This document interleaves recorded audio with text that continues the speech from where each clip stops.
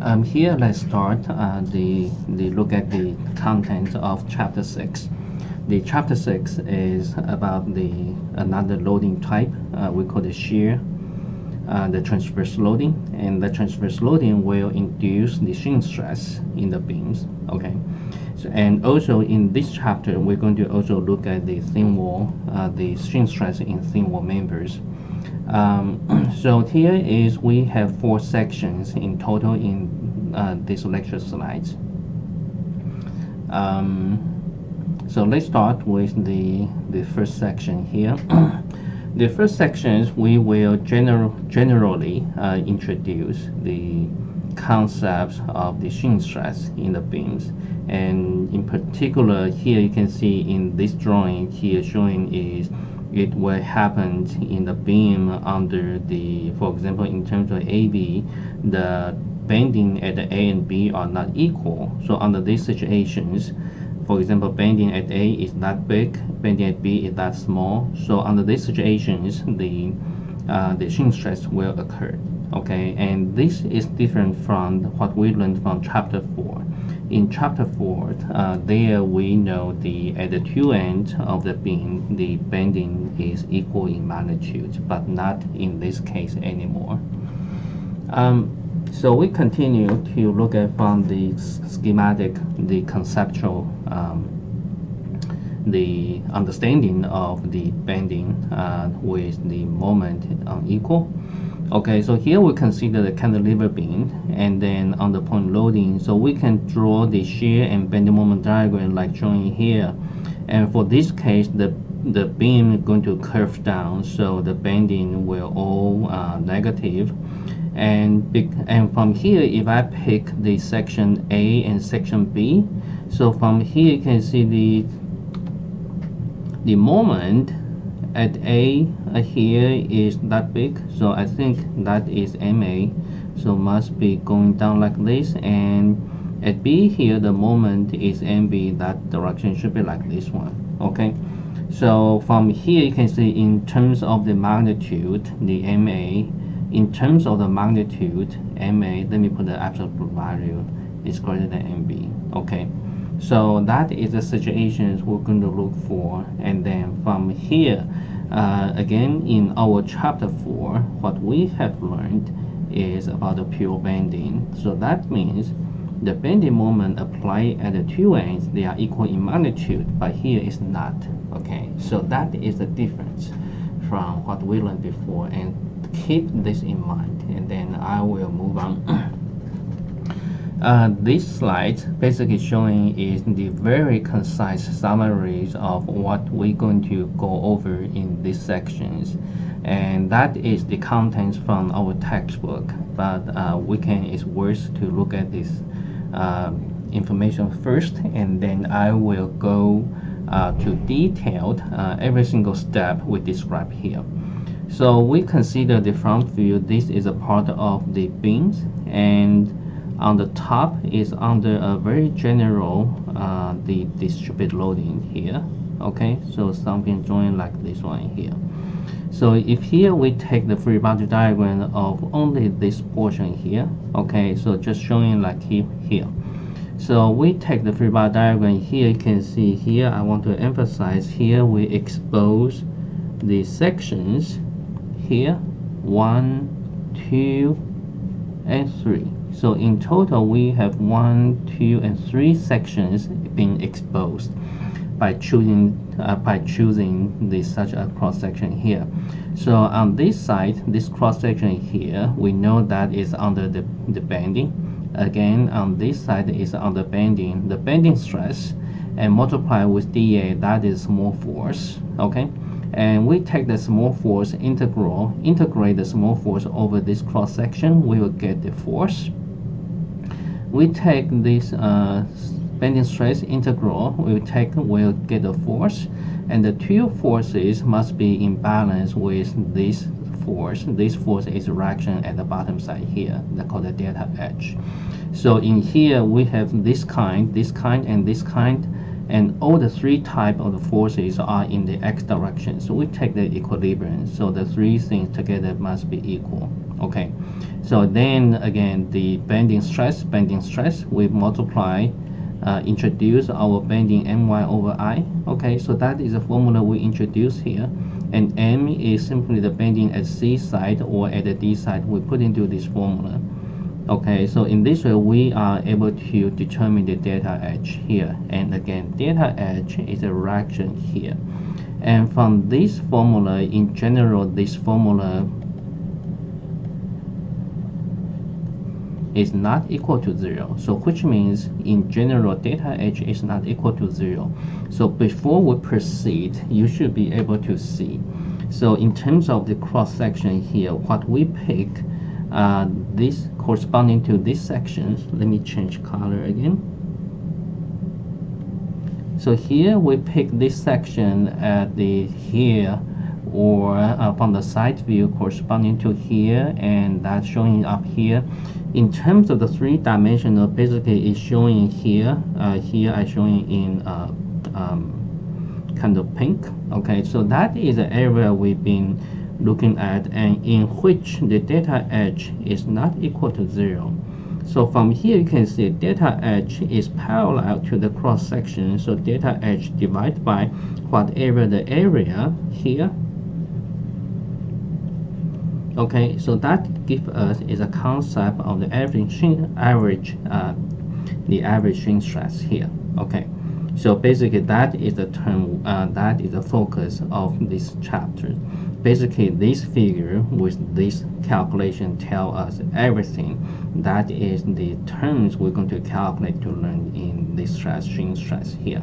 Okay and then uh, the remaining contents remaining uh, the chapters is uh, the calculation of this exercise. Okay the first thing let us see how can we implement the calculation of delta h here. That involve this one okay involve this integral and also involve md minus mc okay so MD minus MC, and here we can further uh, introduce the what we learned from shear bending moment diagram. And MD MC basic delta M that can be related to V times delta X. Okay, so that is from our contents in chapter 5 there. So introduce the MD M minus uh, this term with this one here. Okay. V delta x okay? And then um, for this term this integral uh, in these chapters in all the textbook mechanics material we define this integral as a q. So q come to here okay?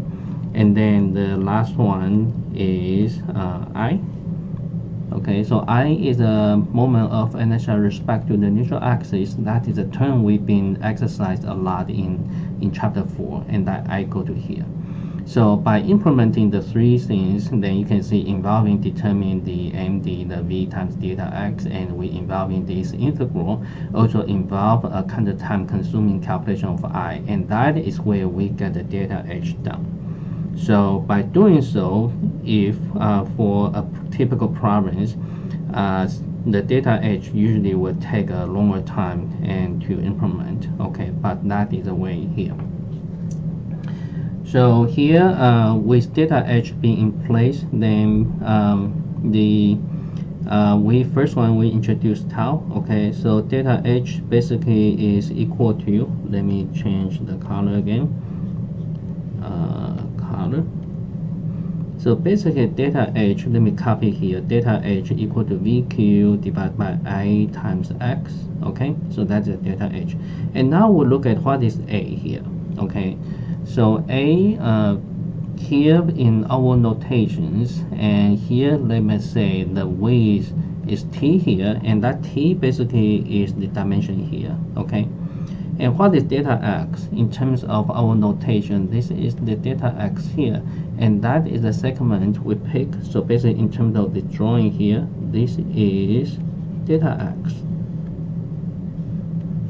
Okay. So in this way, the area A simply equal to delta x times t. Okay, so by looking at this 3D, three-dimensional view, so delta A equal to delta x times t. So from here, we can simplify tau equal to VQ over IT. Okay? And then uh, we introduce uh, a very special terminology called the shear flow. The shear flow simply is the unit is the data is the we, the, we call the delta H is called the shear force. Okay, we call this is called the shear force. So shear flow simply is a shear force per unit length. So for example, the whole total shear force in this strip, in this pink strip is delta H. So delta H divided by delta X, that is a unit.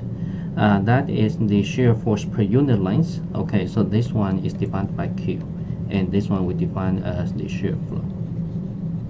Okay, and again, uh, we introduce delta H and our calculation here, uh, VQ over I times X and divided by X here, then shear flow equal to VQ over I. Okay, so that is the two and the only two uh, important equations in this chapter here. And again, this slide gives us a very uh, broad and very high level uh, level uh, the summaries of what we have done. And again, uh, you can rewind the video and to re-understand and re-listen to the contents here. And in the following, I'm going to detail uh, individual uh, terms in calculations and try to reinforce the individual concepts. In particular, I will let you know how to determine K, uh, how to determine Q. Q is such a special integral, the area integral uh, over certain uh, cross section, the cross section on the uh, on the on is okay. The Q is the area integral of y uh, on certain portion of the cross section, and that one we're going to exercise quite a bit. Okay.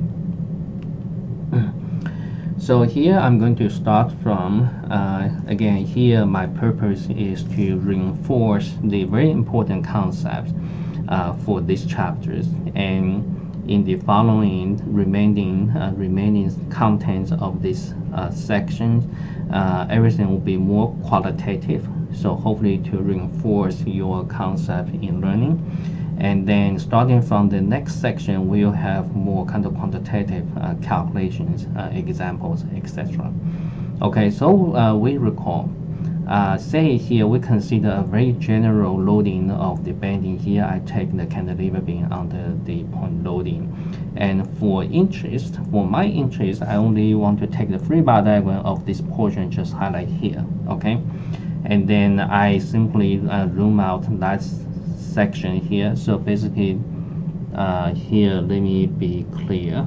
Okay, so basically these portions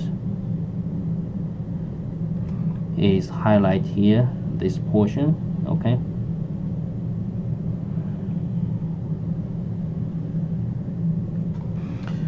Okay, so now uh, here we can draw the bending moment diagrams and so from here this one is the shear and x this is v. So by uh, this is the reaction loading equal to f. So basically here let me put the drawing here first okay. So for this is the shear diagram this is zero and this is minus f per our sign convention here. And this is zero and then here for uh, drawing. So this is our bending okay? So bending the maximum is uh, minus f times l here this value and the slope equal to um, oh uh, so here I think uh, upside down. So let me rewind my drawing here okay so the bending should be um, let me see. Yes so the bending should be like this. Okay so sorry so this is a straight line. The uh, the slope equal to minus f. The maximum here the m equal to f times l. Okay so for this case here at this position this is a bending I call the m1 here. And at these positions and the magnitude of bending called M2 So from here, very apparently M1 is greater than M2. That is the point I want to see. Okay. So here on this side, and this side here, and the bending is M2. And from here, we from the chapter four, we know the bending stress is like this. Okay, and the distribution is like this and this is the neutral surface on the top is in compression and this is in tension and in a similar way on this side because M1 is bigger so the bending stress is relatively is bigger than the other side. So that is the same pattern like this one here. And now uh, I want to in particular I want to simply pick up uh, small portions uh, as the free body diagram to study what is the shear stress at this layer. Okay, my purpose is I want to find out what is the shear stress, shear force at this level here. Okay, so I pick up this one. And that location, and again, uh, this location from here, this is Y1, and here is Y2 the top. Okay, so I redraw the diagram here, the, the free body diagram here and then corresponding to the selection of this particular small smaller uh, free body diagrams then I um, redraw and uh, not redraw I copy the corresponding depending stress course uh, that distributed in the selected cross section uh, free body diagram here. Okay something like this one. So uh, this we are able to determine the total force, the simply the total force acting on this side, on this side, if you want to see the three dimensions, its three dimensions should be something like this, okay? So this is the total force acting on this surface and simply is the area integral of the stress, okay? The stress is this one here. The similar way, and this is the three-dimensional this is the total force applied on this section on this side and again that is the area integral of the magnitude of the stress.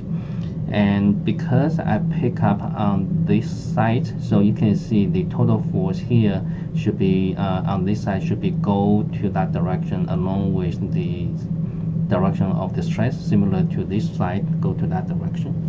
And from here you can see before we implement the detailed uh, big and then you can apparently you can see the total force F1 should be greater than F2 here so that means here in balance we must have for example say F1 equal to say I say 10 and say for example if this is before then delta H must be equal to 6 okay so they must have the uh, existed they must ex exist in the, the, the shear force at the bottom side. Okay, the bottom side here, let me make a color. So this is the bottom surface, okay. So at the bottom surface of this selected uh, free body diagram, the, the delta H, the shear force. The shear force equal to 6 in balance. So that is the one we we try to come up with. Okay, so again, uh, I want to reinforce this concept again, again and again. The shear force exists uh, because due to the shear force exists okay the shear force exists and then that is because the f1 is greater than f2 and so that means this magnitude of force is greater than this one. And why the f1 is greater than f2 because this is the the stress integral this is the stress integral. The stress on this side is related to m1 the stress is related to m2 m1 greater than m2 because m1 greater than m2 so the corresponding stress at each level is larger this side is larger than that one that inducing f1 is greater than f2 here okay so here we uh, qualitatively we have recognized the existence of the shear stress in the beam. And so in general, the beam, the stress, the distribution of the stress on the cross section will be like this one. Okay, we're going to explain this in more detail, but right now just take it. The shear stress should be minimum on the top at the bottom and minimum toward the middle. Okay, and um, so if um, if the say this whole beam if uh, currently grouped by the different layers of the materials if the shear stress will be strong enough to um, overcome the bonding strength then basically you can see they will call the delamination will occur and will be something like this one. So this is the evidence showing the existence of the shear stress here. So here we have three basic questions we want to answer um, through the remaining contents of this chapter here. So the first one is to how to calculate the shear stress. The second one, and we are interested in knowing uh, where the maximum shear stress occurred and what is the maximum shear stress. Then the third one is uh, when does a beam have no shear stress? Okay, so that is the kind of the the very detailed, the quantitative questions we can answer only uh, after we learned how to quantify the equations and for understanding individual terms in the equation to determine the magnitude of the shear stress here. So this page uh, is uh, further detailed anatomy of the analysis and here this will be our last chance to think about the detailed principles, formulations, the concepts. Okay. Um, again, this is the small portions, and this is in terms of the whole entire cross sections. And I simply pick up is I pick this level to expose uh, what is the delta H. Okay, so that means here this is the side view, and this is the uh, this is the this is the front view. And in terms of the side view here, let me pick up the T-shaped cross section for example. So again, for this section, for this um, the this bottom side corresponding to I pick. Okay, again here is I pick to expose uh, the information for uh, the determining the delta H. I pick the bottom side corresponding to the cross section will be corresponding to this dashed line indicated here. Okay, and the reason uh, why I I show this drawing because in the, in the remaining of the chapters, uh, we're going to only use these cross sections as the illustration to uh, for our selection of the level uh, uh, in which the delta H we're going to calculate. Okay, so here we, I, this will be the starting, the kind of the first taste. How can we uh, use based upon this cross section to uh, expose the information we like? Okay. So now with the everything introduced together, and basically uh, this is the this is the whole beam from the front view will be something uh, like this okay so something like this one um, so let me get more precise. So basically the for example here let me draw here if this is the beam on the uh, cantilever beam and right now we pick this section say section A section B. So section A would be something like this right here okay? So this is a section AA and this is section BB okay and then this portion we pick is only the portion here. We only pick is the top uh, portion of the segment here okay?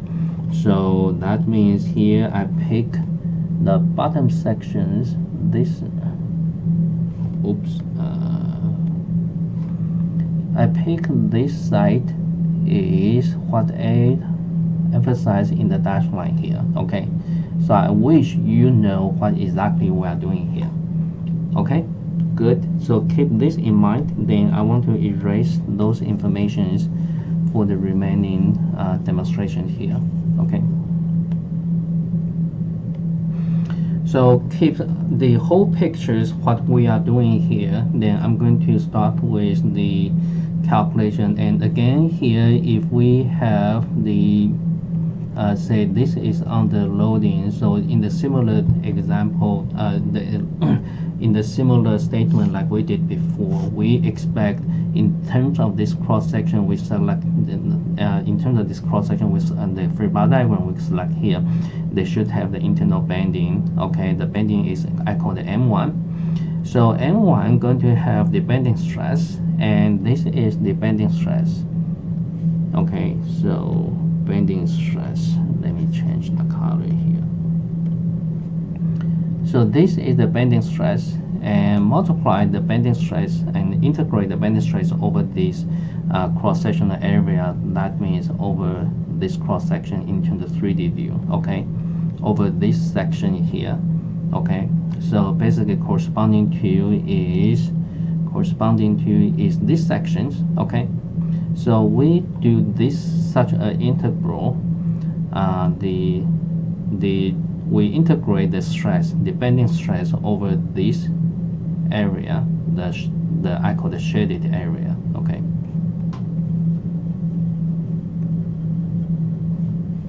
Then we can determine the magnitude of the force. Okay, and so how to implement that shaded area, basically, the how to implement this integral, basically detailed is this.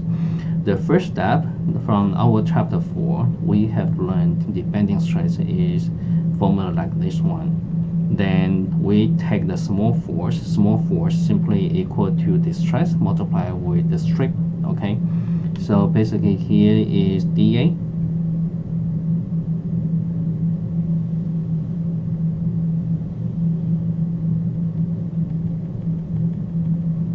so that's the dA okay? So that small area is dA here okay? So put into here then we begin to do the integral here.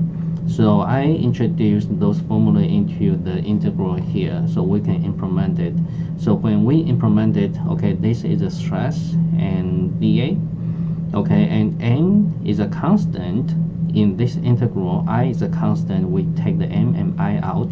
So leaving this term here so this integral for these examples is to integrate from y1 to y2. Okay, so that means here, uh, in terms of our coordinates, here this level is y1 here, this level is y2. We simply integrate over dA. The dA strip is moving from here to top over from y1 to y2. So this spatial area, we actually we have a very easy we have a very simple formula to replace uh, such an integral. Basically, that is this. Again, let me erase unnecessary information to not to block our focus here. Okay. Such uh, integral in our textbook we define as a q. Okay, so the calculation of the integral q, uh, that means here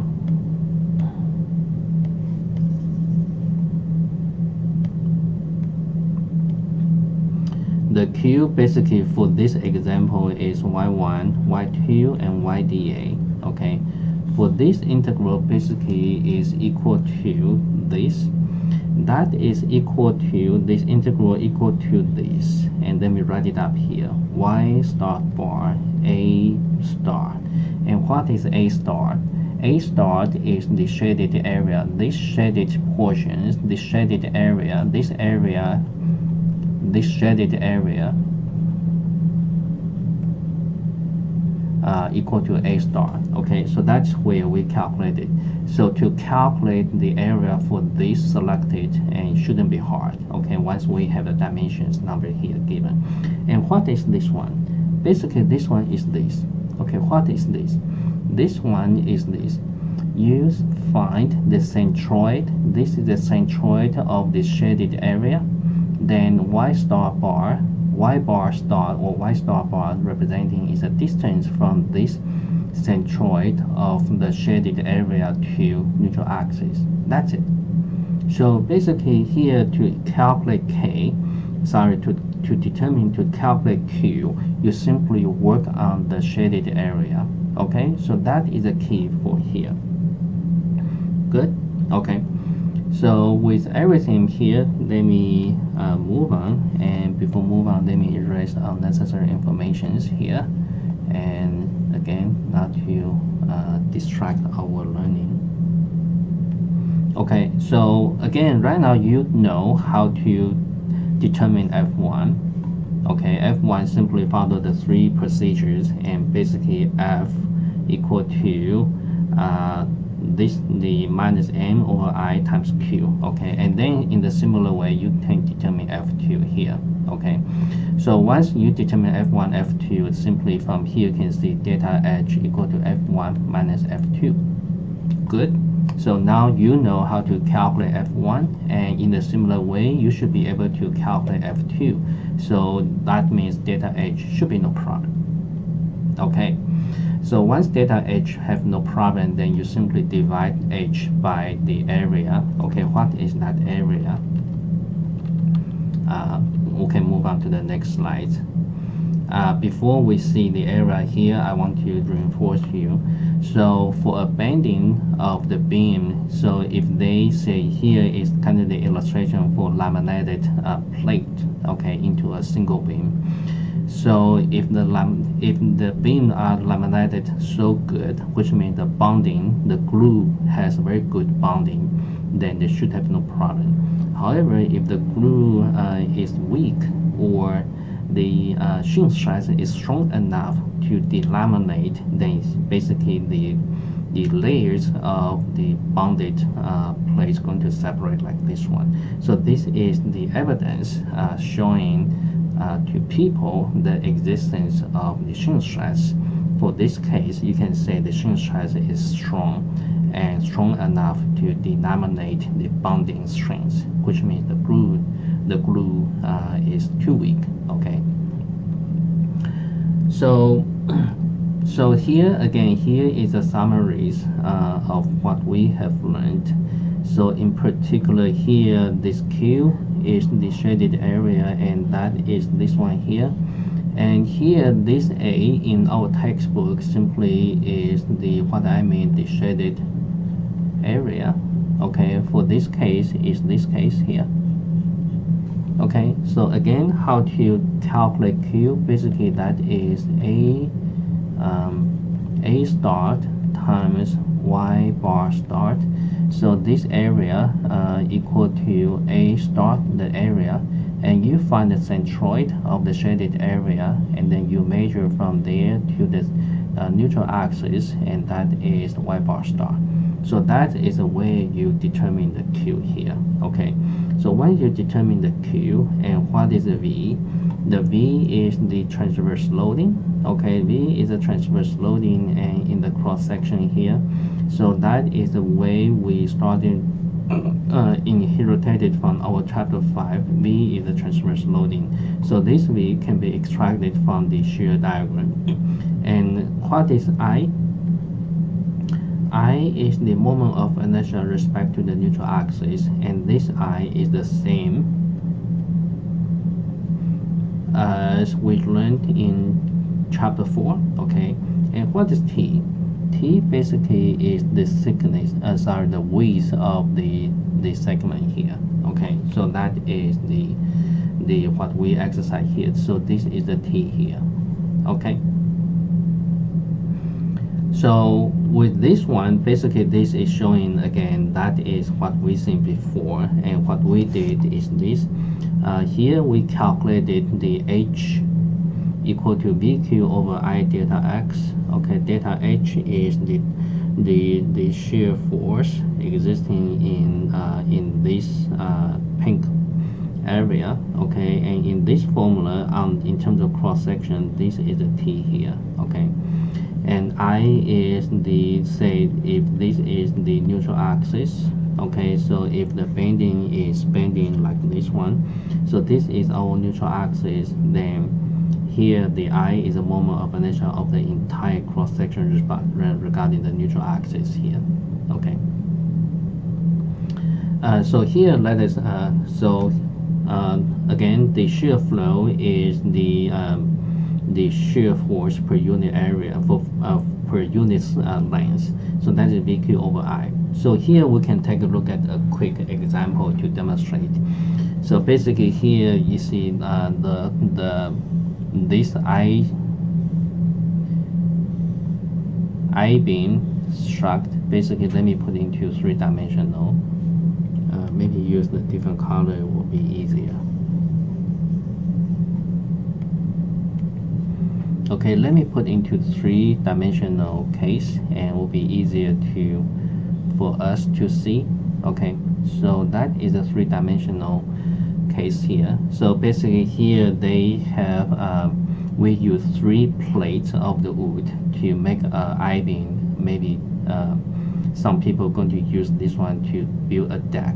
Okay, so the nail so knowing the nail, the space between the nail is 25 millimeters in the vertical, um, the basically here, that means here my second nail is going to place here, okay?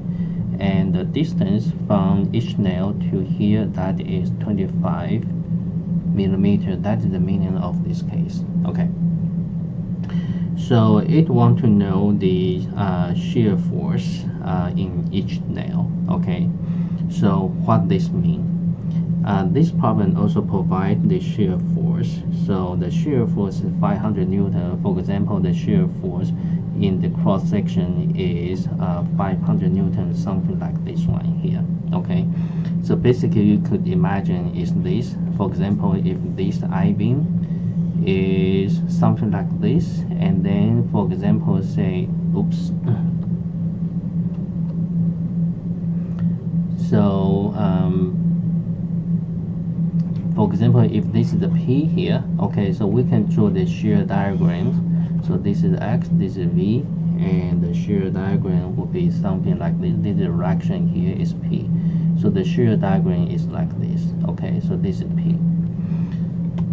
So uh, in any cross sections, the shear force is P equal to constant. So that is a P here, P equal to 500 newtons.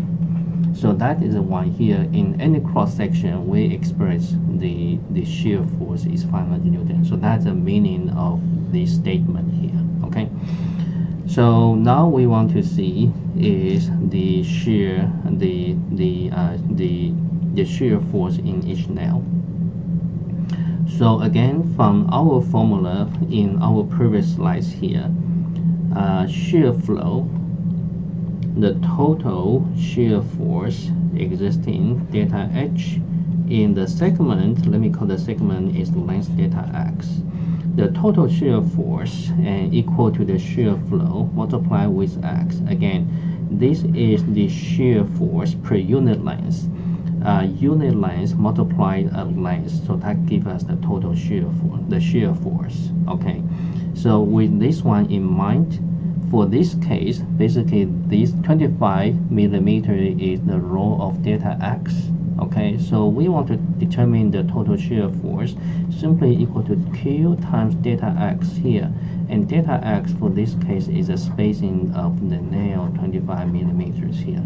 So apparently we simply need to calculate Q. Once Q determined, we can determine H. Okay, so how to determine Q? So that is a good exercise. So determine Q, we can see here so Q is a shear flow in which level? In this level, in the pink level. Com in terms of the description in the cross section, the pink level intersect with the cross section with AA here. So basically you can say this shear flow is a shear flow along the segment that passing through AA here. And in this case it's out of the paper. Okay? So basically in terms of figure here, that is a shear flow at this level here okay the shear flow is, is, is level so now we want to determine the shear flow the shear force in the nail because you can see the nail uh, linking the nail bonding the two plates through here so from here you can see this is the way I highlight here that is the sections corresponding to what we done here okay so that indicating in this case I'm going to draw this is the shaded area we're going to use to calculate Q. Q equal to VQ over I.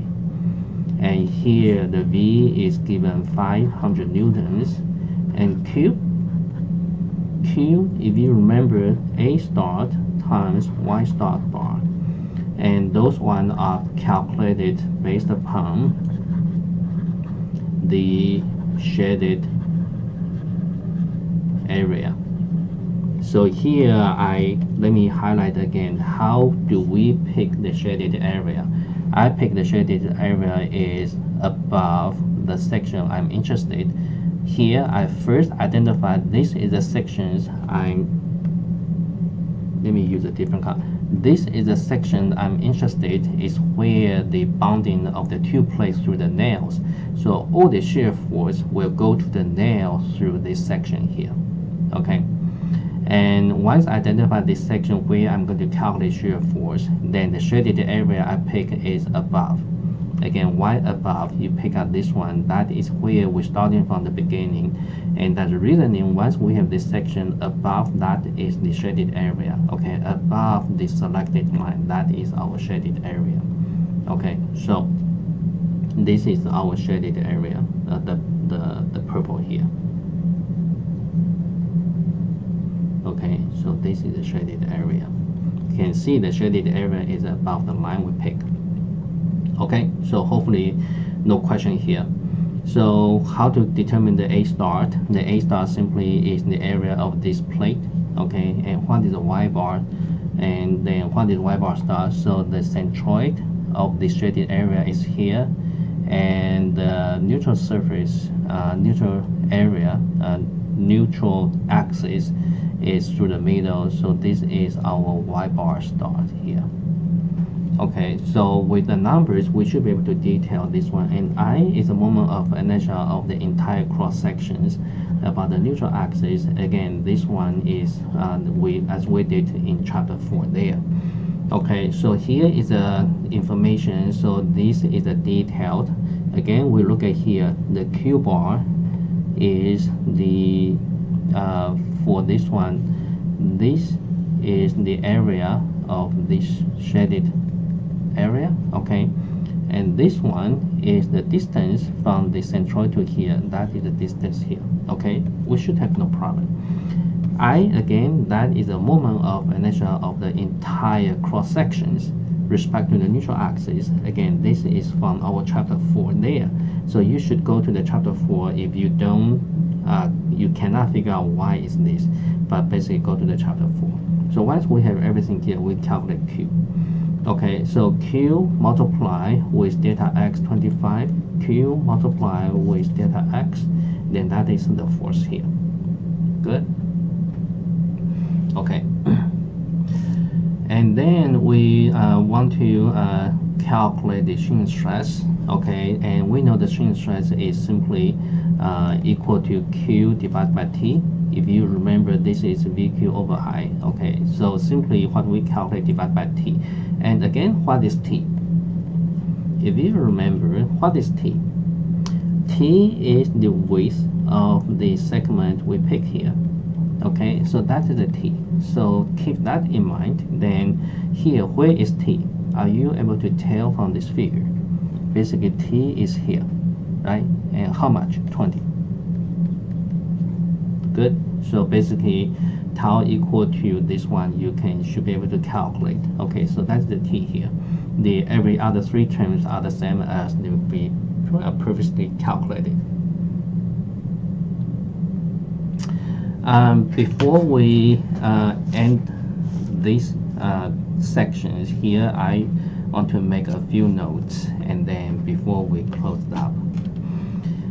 Uh, by up to this point, you should know, you should know, okay, what is the shaded area representing for here, okay?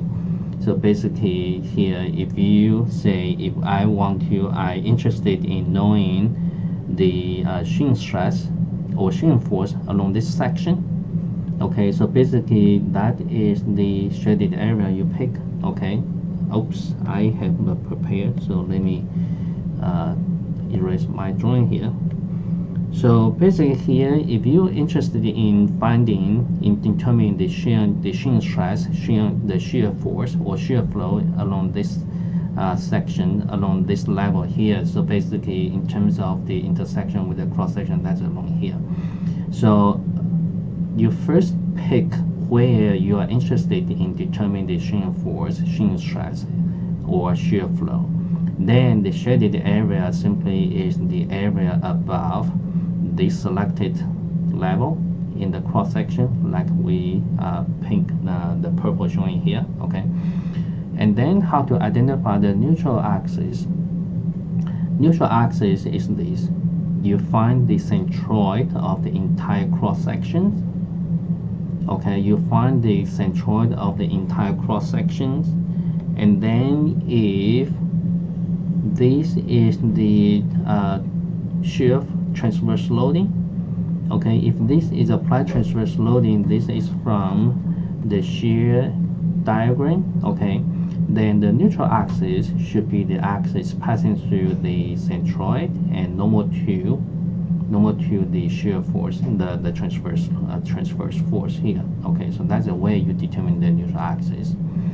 And how what does the calculated shear stress mean the shear stress simply means is the uh, say if we calculate the delta H that's the shear force here if this area is uh, A so the we calculate the tau VQ over IT is simply represented is delta H divided by this area A, simply meaning the average stress along this level here. Okay.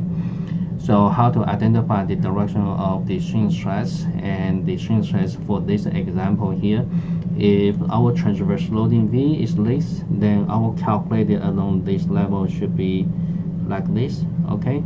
and this is one direction and then at the bottom one that should be flowing in that direction the way is this in chapter 1 you should recall if we have the shear force the shear stress on one side is this then the other two sides will be the other side should be like this the other side should be like this.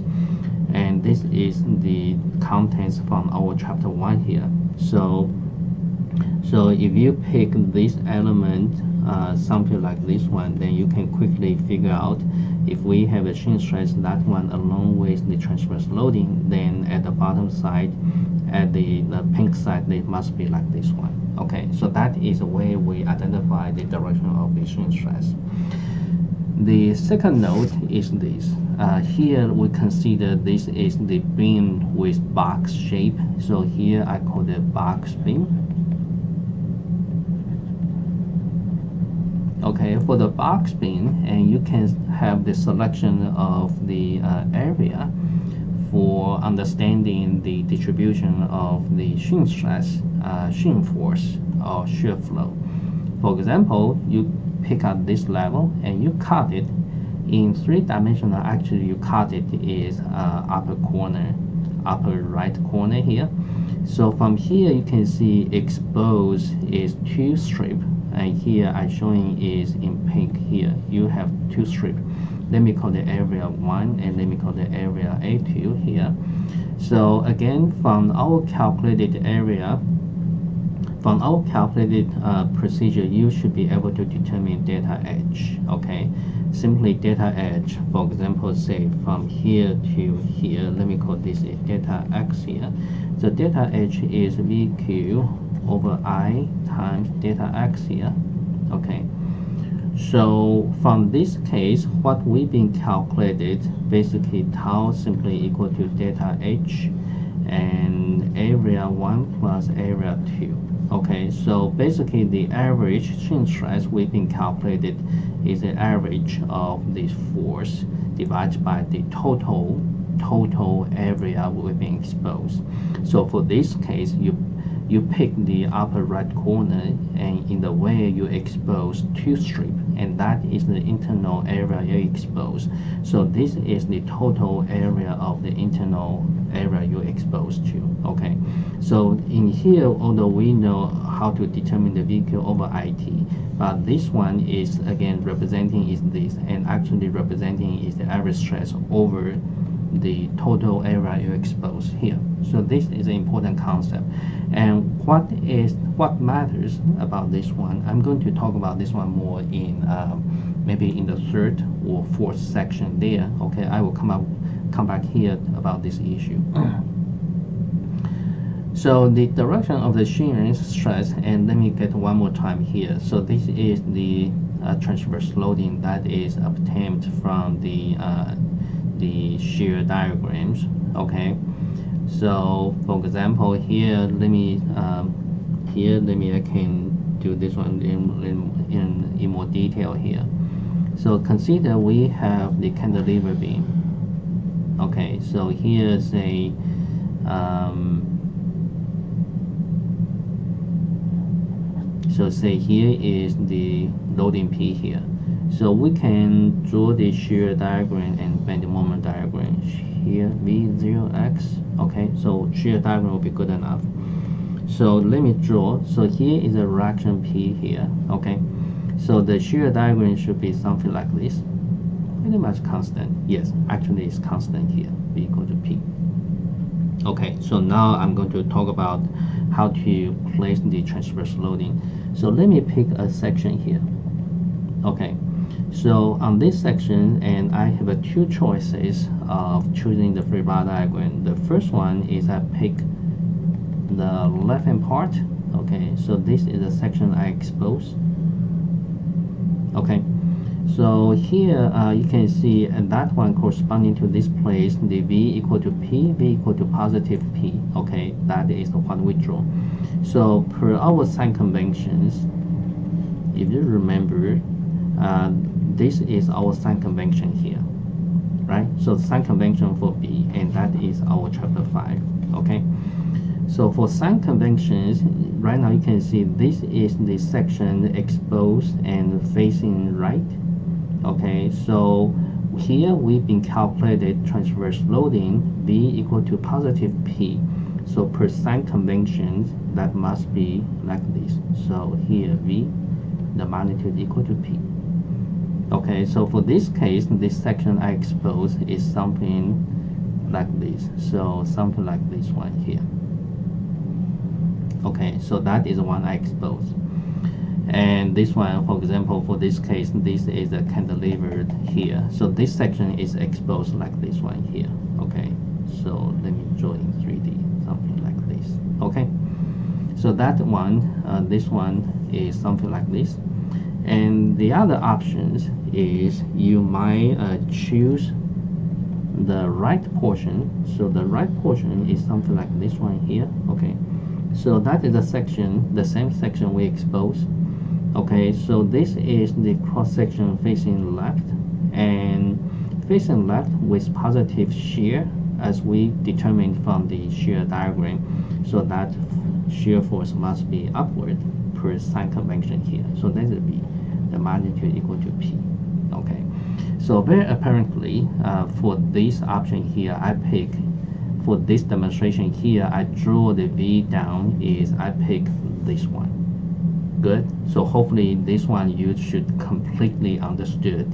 You should completely understand what I'm talking here. Okay so now with this everything here then direction of the shear stress is this the whatever the transverse loading is the direction is the shear stress must be in the same direction of the V basically the shear the transverse force is the mother is the base on which the shear stress is induced to. So the shear stress uh, in that cross section must be in the same direction of the V okay so from here we determine the direction of the shear stress so let me translate here. So the string stress basically is uh, here.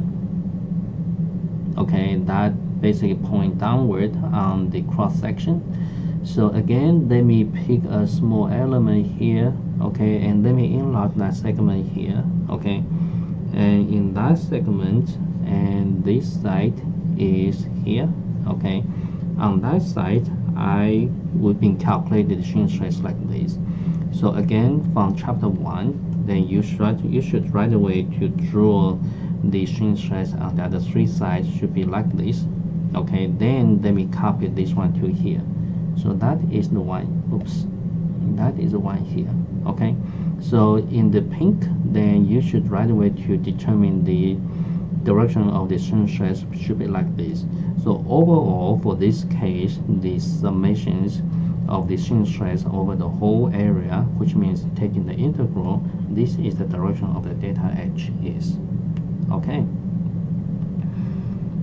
Then um, here we come to the second note, uh, how to select the shaded area for determining, for calculating Q here. So for example, if we are interested in knowing what is the shear uh, force, shear stress, or shear flow in this segment, in this segment, in this at this level, so I simply pick this as the level here, okay, and here again, this is our T for the width. Then shaded area I set is the area above the selected uh, level, and that is our shaded area. So something like this one. Okay, so here corresponding in terms of the cross section, this is the shaded area. Okay. Again, uh, most of the time, uh, we won't we won't uh, draw the three-dimensional schematics uh, diagram for users for uh, students. So most of the time, the only two-dimensional, which means this diagram, okay, this two-dimensional will be sufficient. Okay, but for the beginners, here I emphasize again and again in three-dimensional, but you need to gradually shift your focus from three-dimensional diagram to here. So in two-dimensional here, we're interested is in the segment corresponding is we interested is in this area here. We want to know the delta h. We want to know tau. We want to know q. Okay, so that means here at this level, we want to know um, the delta h. We want to know tau. We want to know q. Okay, at this level, this level is this area. Okay, so keep that in mind. So that is the way we pick the Q. Okay, so that is the here the VQ and tau being calculated. So on the other side, and I want to tell you uh, the selection of the Q, the shaded area for Q is not unique. Actually, there's two options.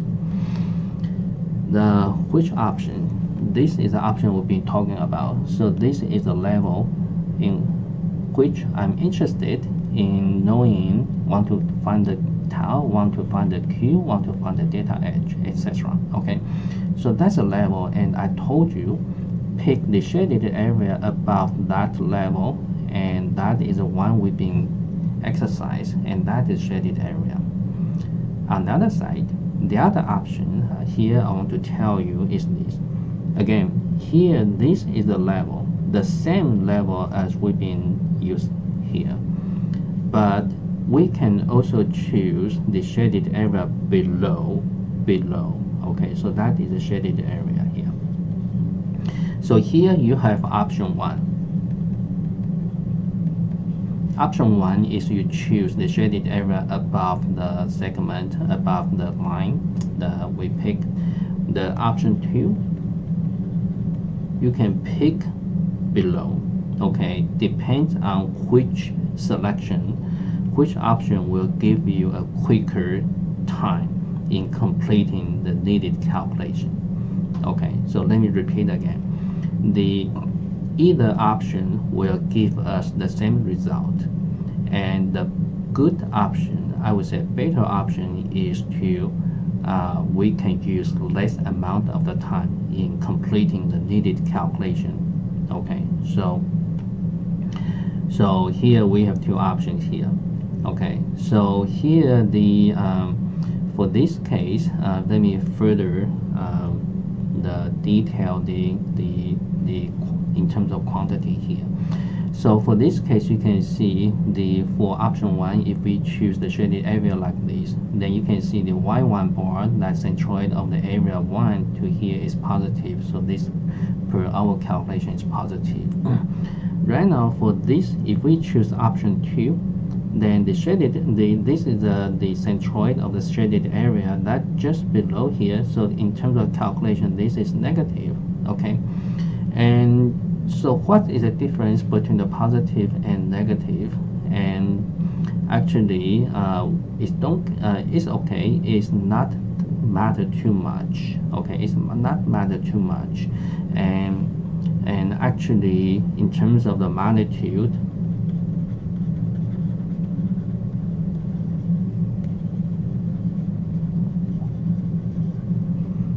Q1 equal to Q2. In terms of the magnitude, Q1 equal to Q2, but they simply have the opposite sign. And what is the reason uh, to uh, to cause this such an interested an interesting uh, property? The way is this.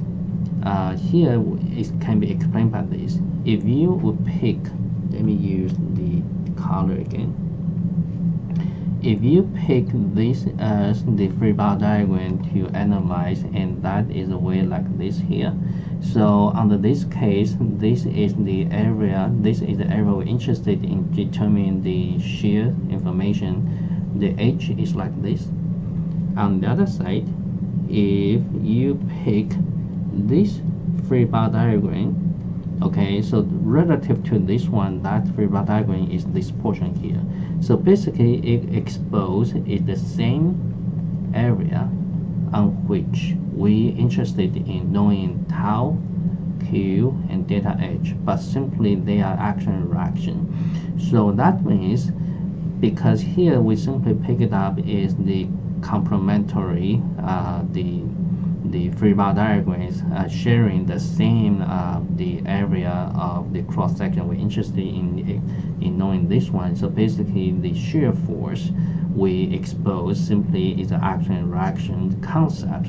So they must have the same magnitude and opposite directions. So that is the reason why we have these conclusions. They corresponding to must be um, the, uh, the, the same amount in opposite direction. Here uh, in this slide, I try to show this concept in more detail. Hopefully that can help you here. So again, here we have two options, either this option, and again, this is a level we're interested in knowing, in determining the tau, q, and delta h here. So here you have one the two options. The one option is to pick the shaded area above the line, okay, and then that basically constitute like this. The second one, you have the the second options to pick the lower one, okay, to calculate Q2. So the Q2 basically is like this, okay. So the two things put together is basically uh, if you, uh, in terms of the geometry, the two things put together basically equivalent to original uh, cross section. Okay, uh, for sure. So that means the Q1 plus Q2 must be equal to Q3. Q3 basically is corresponding to the original entire cross section. And what is Q3? In terms of our concept, the Q3 equal to the, the area of the shaded the shaded area right now for this case because they combine together is a whole area and multiply with y star bar. What is y star bar? Y star bar, our concept is from the centroid of the shaded area to send to the neutral axis. For entire cross section, actually this term equal to zero. Okay, this term equal to zero. So that means Q3 equal to 0. So that means Q1 plus Q2 equal to 0. So from here you can see Q1 must be equal to minus Q2, the same magnitude but opposite direction here. Okay, so that one is the the way um, uh, they give you the options. So again, uh, you have two options. Either choose the shaded area above or below the, uh, the level uh, at which we interested in knowing the Q, tau, and delta h. Okay, so from here you can see that pretty much important is users or students. You must first know where you are interested in determining the shear stress. Where? That is your choice. And most of the time, we interested in determining the, the place where the maximum shear stress occurs. Okay, that is for design purposes. Most of the time, we're interested in knowing the the place where the maximum shear stress occurs. So um, that situation, you can search a way to determine the level you're interested. So once you determine the level at which you're interested, and then the remaining should be very straightforward. Pick the shaded area on the pick it uh, pick it up the shaded area on the uh, above or below and then you simply proceed the calculations okay